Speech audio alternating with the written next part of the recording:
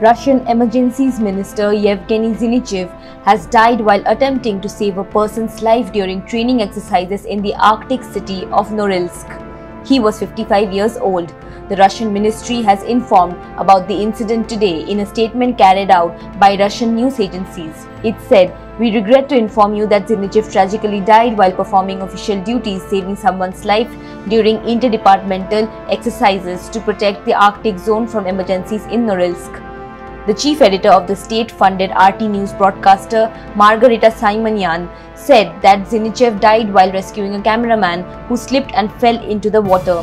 Her tweet in Russian read, There were plenty of witnesses but no one even had time to figure out what happened as Zinichev jumped into the water after the fallen man and landed on a protruding stone. Citing an unnamed source, the RBC News website reported that Zinichev died during the filming of an emergency situations ministry training video.